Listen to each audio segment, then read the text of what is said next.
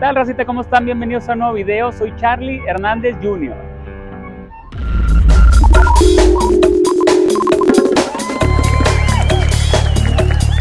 Me encuentro en el famosísimo, ex famosísimo Sabino Gordo en el centro de la ciudad de Monterrey, Nuevo León, México. En este lugar era uno de los más exitosos centros nocturnos aquí en Monterrey, Nuevo León. De hecho, en lo que es el Sabino Gordo era un lugar muy concurrido, un centro nocturno muy, muy famoso. Era un lugar donde se llenaba completamente fines de semana, entre semana, y yo creo que casi la mayoría de los días estaba, lo podías encontrar totalmente lleno, con demasiada afluencia.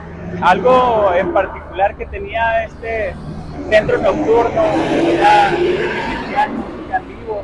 Algunos músicos, artistas venían a presentar su música y sí que era muy, muy concurrido, ¿eh? El lugar sí se llenaba demasiado. Había en algunas ocasiones en el que tenían que esperar para poder presentar su música, sí se esperaban demasiado. Yo creo que eh, para que les dieran fecha era alrededor de meses para que pudieran darles alguna fecha de tan ser exitoso, este lugar un día, un día cerró por completo sus puertas.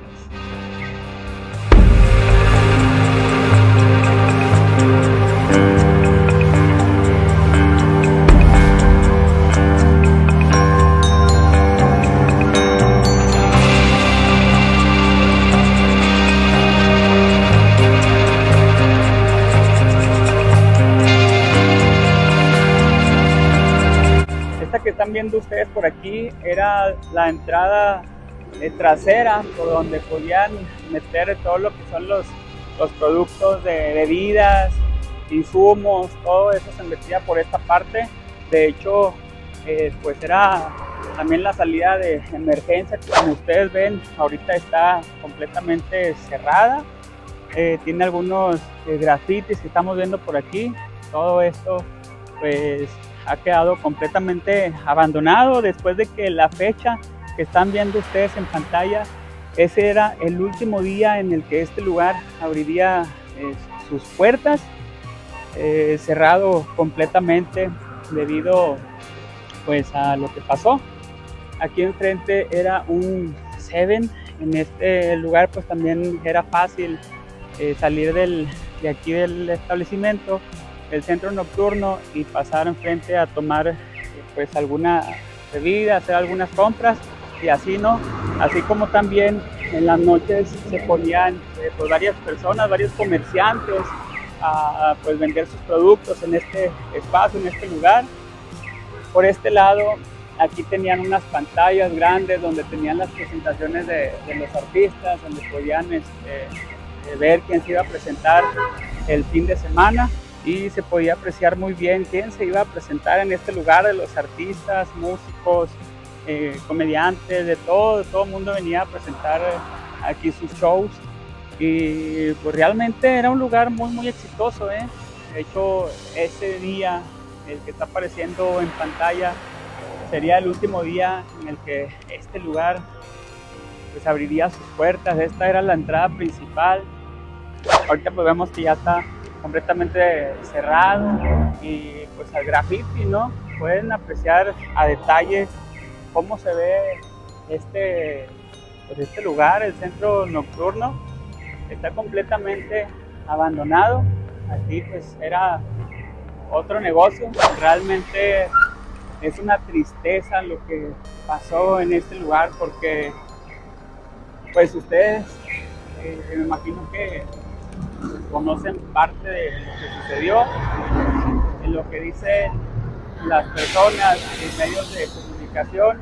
He escuchado que, pues, hacia lo que pasó aquí en este lugar, de ciertas personas que llegaron a la medianoche, bajaron de ciertas camionetas, descendieron, entraron al lugar, y pasó que muchas personas no quieren o no les gustaría que, que pasara, ¿no? Es una tristeza, es una completa tristeza lo que pasó aquí en este lugar. Y pues bueno, se dice que alrededor de 20 a 30 personas, según medios de comunicación, reportan que pues esas personas pasaron a, a otra vida, ¿no?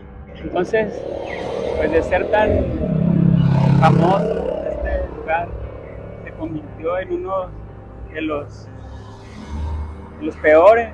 Es una completa tristeza y pues me gustaría saber si ustedes han escuchado algo sobre este lugar. A lo mejor algunos de ustedes pues lo visitó en alguna ocasión, lo conocía, porque imagino que muchas personas sí llegaron a visitarlo y saben de lo que les estoy hablando, de la, del éxito que tenía este centro nocturno. Y pues cómo era tan concurrido, ¿no? De tanta fama que tuvo, pues sí, les digo, un día, un día pasó lo que no se esperaba mucha gente, el día de la tristeza, el día oscuro, y pues este lugar cerró sus puertas por completo. Así que si has escuchado algo de este centro nocturno, si alguna vez escuchaste alguna historia, alguna anécdota que te haya pasado, que escuchaste de alguien que visitó este lugar, déjalo en comentarios. Quizá este, alguna otra persona también pasó por algo similar. Y pues bueno, hasta aquí este video. Nos vemos.